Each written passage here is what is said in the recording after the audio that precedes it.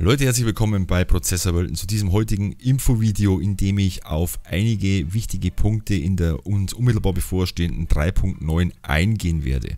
Ja, viele von euch warten ja schon auf die 3.9. Es ist nach dem Update von voriges Jahr, so Ende November glaube ich, gewesen, wo Microtech ins Spiel implementiert worden ist. Eines der wichtigsten, für mich persönlich wichtigsten Updates überhaupt. Zwei Punkte da drin werden für mich sehr interessant werden, auf die wo ich schon warte und auf alles weitere werde ich jetzt dann in dem Video mal drauf eingehen. So, eine der wichtigsten Änderungen, beziehungsweise ja, Änderungen kann man sagen in 3.9, wird die begehbare Landezone von Microtech sein. Ja? Microtech wird dann mit ein riesengroßer, wichtiger Handelsnotenpunkt für irgendwelche Konzerne sein, für ein Paradies für kleinere technische Unternehmen und so weiter und so fort. Aber das bringt ja uns im Endeffekt nichts, außer halt, damit wir dann viele Sachen kaufen können und so weiter. Aber wir können landen und können die, die Gebäude betreten, können das Ganze mal erkunden. Es ist ja doch schon ein bisschen langweilig jetzt mittlerweile, man fliegt immer über Microtech drüber brauchen wir nicht diskutieren, der Planet ist ein Wahnsinn. Er hat hammermäßige Locations zu bieten, wenn die Sonne über Microtech aufgeht und man fliegt mit seinem Schiff darüber, das ist einfach atemberaubend, macht immer wieder Spaß, egal wie oft man es macht. Aber jetzt wird es doch langsam Zeit, damit wir die ganze schöne Stadt mal endlich betreten können, mal in die Gebäude reingehen können und da uns einmal richtig schön umschauen drin. Ich rechne persönlich mit einem Patch Ende März, vielleicht wird es sogar Mitte April, ich weiß es nicht genau, aber ich schätze jetzt einmal so um den Dreh Ende, Mitte, Ende März, Anfang April, so einen Dreh, wird die 3.9 kommen. Ein bisschen eher wird es dann vielleicht schon auf der PTU sein. Wenn das der Fall ist, gibt es auf jeden Fall sofort ein Infovideo. Wir werden uns dann sofort die gewissen Locations anschauen. Ja, wie gesagt, wir werden dann in Microtech landen. Da wird es dann ebenfalls neue Missionen geben in Microtech. Das ist schon mal sehr, sehr wichtig, damit bei neue Missionen frischer Wind ins Game kommt. Neue Missionen, wir können dann unten einkaufen. Auf Microtech wird mit Sicherheit einen Rüstungsshop geben, also eine Drama wetten. Und da freue ich mich schon, was dann wohl hier für ausgefallene Rüstungsteile oder Rüstungen geben wird. Ja, weil jede Station hat also seinen Rüstungsshop und die sind ja doch immer, manche Rüstungen, die wo ein bisschen spezieller sind, gibt es nur auf gewissen Stationen, bei Grimax und so weiter und so fort. Das ist natürlich Geschmackssache, aber auch Microtech wird mit Sicherheit hier äh, was anbieten, wo man dann kaufen kann. Ja. Das ist erstmal ein wichtiger Punkt, ist auf jeden Fall Microtech. Das wird das erste sein, wo ich dann nochmal runterfliege. Dann gibt es einen weiteren großen Punkt, das ist auf jeden Fall das Roleplay für euren Charakter. Ja? Ihr werdet da unten ähm, links vier oder fünf so Buttons drin haben. Das erinnert dann ein bisschen an Daisy, sage ich jetzt einfach einmal. Man wird dann essen können und essen müssen. Nicht nur essen, sondern auch trinken. Ja, dann kann man in den komischen Nudelständen, in den Automaten, da wo jetzt eigentlich alle nur die NPCs rumstehen, die Automaten haben teilweise noch nicht einmal Displays beleuchtet, da wird man sich dann was zum Essen rauslassen können, an den Straßenstationen einen Hotdog kaufen können, was, was zum Trinken kaufen können äh, und so weiter und so fort. Man wird aber das nicht nur können, ich vermute, man wird es auch müssen, damit der Charakter gesund bleibt und am Leben. Ähm, für manche ist diese Art ähm, Roleplay schön. Mich persönlich nervt es ein bisschen. Mich nervt es auch schon ein bisschen in Daisy, was ich aktuell spiele und auch bald auf meinen Kanal kommt, dass man immer so die Anzeige im Blick haben muss, ah oh Mensch, äh, jetzt hat er Hunger der Charakter, jetzt braucht er was zum Trinken, wenn er das nicht macht, dann stirbt er da wahrscheinlich weg, ja, oder er friert oder und so weiter und so fort. Und genau das alles wird dann mit der 3.9 ebenfalls kommen, natürlich in einer, in einer anfänglichen Testversion, wir sind ja nur in der Alpha, vielleicht noch nicht so stark ausgeprägt, aber das wird auf jeden Fall so ins Spiel implementiert werden, dass wir, unser Charakter, essen müssen, trinken müssen, wahrscheinlich würde er dann auch noch krank werden, da müssen wir uns dann medizinisch behandeln und so weiter und so fort, also da muss man seinen Charakter dann schon äh, im Auge behalten. Und für mich persönlich nervt das ein bisschen, ja. Mich hat das schon bei anderen Games ein bisschen genervt, wo man immer wieder bei, bei Fallout zum Beispiel, wo man immer wieder was trinken muss, weil ich, ich schaue da einfach nicht immer hin, ich vergesse das dann und dann plötzlich fällt der Charakter um, tot. Hm weil ich es einfach vergessen habe. Das ist ein Gameplay, was mich persönlich, also ich spreche jetzt nur von mir, nervt. Andere wiederum, die finden das absolut geil, wenn sie immer wieder essen und trinken müssen. Natürlich hat es auch seine Vorzüge. Ja, man kann dann endlich die Reststops, also die, die äh, Raumstationen, da kann man dann Rast machen mit seinen Kumpels, kann sich dann irgendwo in so einem Pub einsitzen, dann in so ein Restaurant, kann man sich dann irgendwas zum Essen kaufen und was trinken, einfach dabei sitzen und dann einfach ein bisschen labern und ratschen. Man weiß ja nicht, vielleicht gibt es ja da dann ein Schnitzel vielleicht gibt es dann auch eine Bedienung, die wo das Essen an den Tisch bringt und so weiter und so fort. Wie gesagt, wir sind ja schon in der Anfangsphase, die kann man schon denke, äh, von der Detailverliebtheit von Cloud Imperium Games, dass da auch äh, hier einiges bringen werden in, in Bezug auf die Restaurants und auf die Nahrung und Verpflegung und so weiter und so fort. Also das wird auf jeden Fall kommen. Also wie gesagt, wir müssen essen und trinken. Dann können wir mit, den ganzen, mit der ganzen Spielwelt äh, bei 3.9 schon wesentlich besser interagieren, wie wir es bis jetzt machen können. Teilweise, wenn man sich irgendwo hinsetzen wollte, dann ist es nicht gegangen, dann ist man gesessen, dann hat man nicht mehr aufstehen können und so weiter. Das wird alles viel flüssiger sein. Gegenstände wird man nicht mehr kennen, man wird auch mit den anderen Charakter besser interagieren können und so weiter und so fort. Das ist natürlich alles in einer, in einer Testphase, in einer Grundphase. Ja. Also darf man nicht sagen, gleich erwarten, dass das alles dann perfekt funktionieren wird. Das ist einfach nur ein Test. Wir sind immer erst in der Alpha und fertig und aus. Dann wird es auch so nicht mehr sein, wenn wir jetzt zum Beispiel vor lauter Vorfreude runterfliegen auf Microtech, weil wir ja in die Gebäude reingehen können. Wenn ihr dann aus eurem Schiff aussteigt, ist bis jetzt kein Problem. Ihr fliegt mit dem Undersuit runter. Ich zum Beispiel bin auch noch, ich habe nicht immer den Bock, dass ich mal gleich Rüstung mitnehme. Jetzt wird es so sein, dass wir dann schon langsam Rüstungen brauchen in der 3.9, weil der Charakter wird auf Kälte und Wärme empfindlich werden und wird darauf auch reagieren. Sprich, wenn wir unten in Microtech aussteigen, wenn wir jetzt aussteigen aus dem Schiff und laufen da rum, das interessiert den Charakter nicht, da passiert nichts.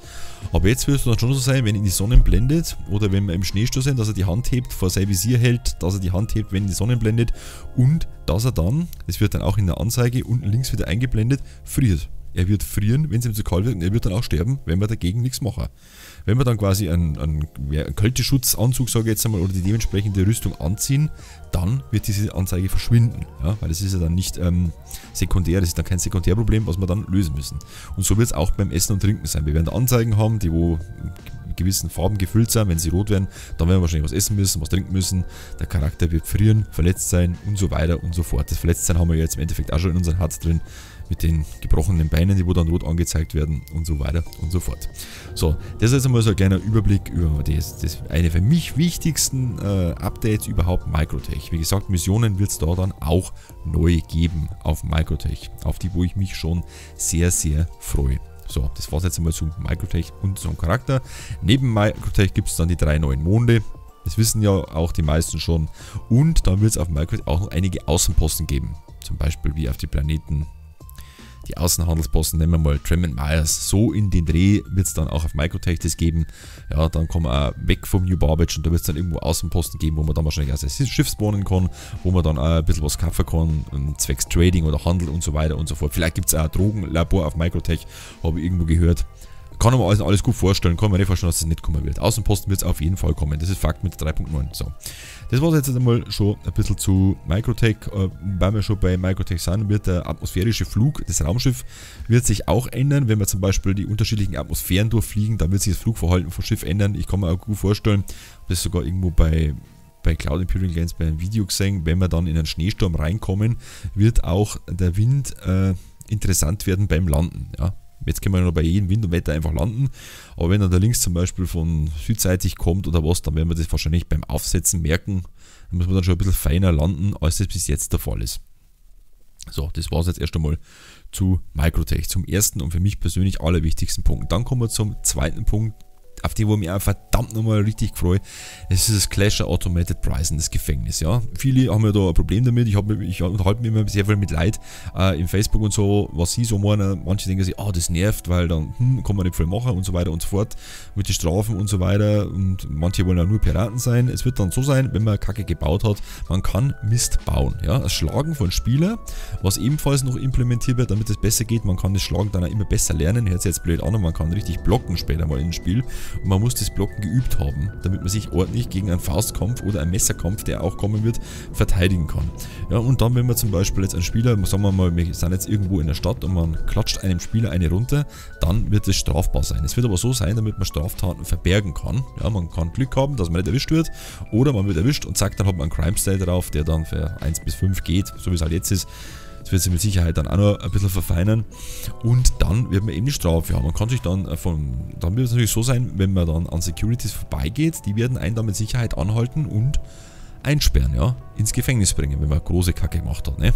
Vielleicht werden kleinere Strafen auch bloß mit, ein, mit einer kleinen mit einer Strafgebühr ähm, kann man die wahrscheinlich bezahlen, aber große Strafen kann man sich dann ergeben. Es wird dann äh, Emote geben, wo man sie ergeben kann und dann wird man wahrscheinlich mit so einer Art Schiff keine Ahnung, ich weiß es nicht, mit irgendeinem Gefängnisschiff, wird man dann ins Gefängnis gebracht. Ja? Und hier drin wird man dann seine Strafe absitzen müssen auf gewissen Weisen. Man hat ja auch schon einen Boxring im Gefängnis. Ich kann mir auch denken, dass man mit Boxkämpfen da irgendwie was machen kann, da man sich da ein bisschen Geld erarbeiten kann.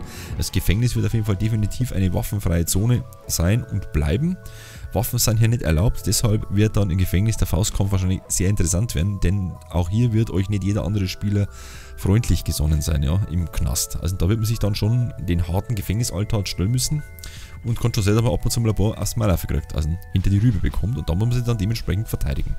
Ja, es wird also auch ganz eigenes äh, Gameplay im Gefängnis geben, es wird also hier auch spezielle Gefängnismissionen geben, die wo man erfüllen kann, die wo man machen kann und so weiter und so fort.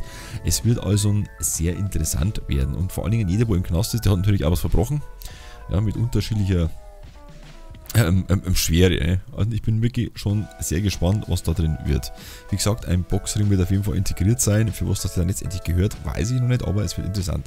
Es wird natürlich auch die Möglichkeit geben, damit man aus dem Knast ausbricht. Das wird es auch geben. Das wird natürlich nicht allzu einfach sein. Das werden es einem nicht allzu Dann gibt es die Möglichkeit, dass man wahrscheinlich mit Freunden draußen kommuniziert, dass sie einen irgendwie behilflich sind beim Ausbruch. Wie das dann funktioniert, ob er dann mit dem Schiff drüber fliegt und lässt dann ein Seil runter und man geht dann rauf, das weiß ich noch nicht. Aber ich kann mir schon denken, dass die Jungs von Cloud Imperium Games auch da sehr, sehr einfallsreich sein werden. Ja? Bin mir sehr, sehr sicher. Es wird schon, es wird schon wirklich geil werden. Und vielleicht gibt es auch die Möglichkeit, dass man sich gegen eine höhere Gebühr rauszahlen kann aus dem Gefängnis, was ich dann allerdings ein bisschen für mh, hm, ungerecht finde, weil es wird auch Spieler geben, die wo unwahrscheinlich reich sind in dem Game ob sie jetzt das Geld erspielt haben oder mit echt Geld finanziert haben, das weiß ich nicht. Das ist auch egal, aber derjenige, der einfach mehr Kohle hat, kann sich dann eigentlich machen, was er will. Und dann einfach rauskaufen aus dem Knast. Oder vielleicht, dass man dann irgendwie mit Kaution da was machen muss. Wie gesagt, das weiß ich noch nicht so ganz genau, wie das sein wird. Aber das werden wir dann schon sehen. Des Weiteren freue ich mich dann noch schon auf das neue Schiff, die Esperia Prowler, so ein Truppentransporter, der, wo man optisch sehr gut voll schaut, eindeutig aus wie eine Mücke. Ja, wir erstaunen wie man bei uns in Bayern sagt. So schaut es aus. Ich finde da, dass, dass viele der Raumschiffe alle irgendwie ein Tier nachempfunden worden sind. Wenn man sich das immer so genauer anschaut, findet man eigentlich in der Natur immer irgendein Viech, was genauso ausschaut, wie es die Raumschiffe tun. So, das waren jetzt auf jeden Fall meine zwei wichtigsten Punkte, auf die wo ich mich freue. Das ist einmal der Knast und das ist die, äh, das Interieur von Microtex. Ja? Und was dann auch schön sein wird, wenn man natürlich essen und trinken kann, man kann sich überall Nudeln holen, man kann, ich, ich sage immer Nudeln, weil man das immer so gefunden hat, Hotdog holen, dann stehen die NPCs hinter den kleinen Verkaufsläden oder in den Bars einfach so blöd rum. Und das ist schon sehr, sehr wichtig, dass die endlich einmal ein bisschen Leben eingehaucht bekommen.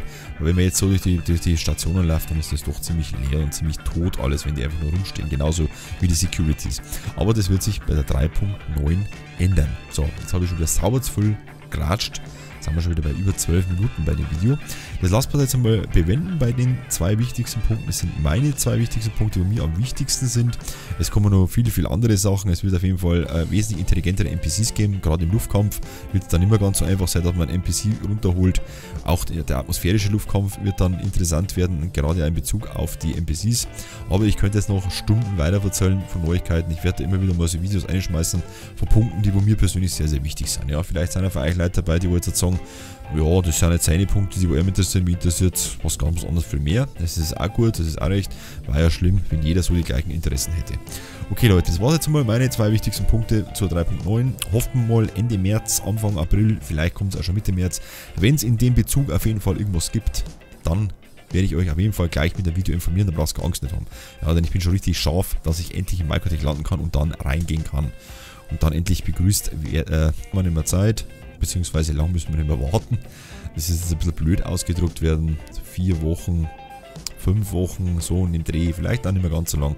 Dann ist endlich soweit eine 3.9 kommt. Und von mir gibt es dann auf jeden Fall Info, Infos in Hülle und Fülle.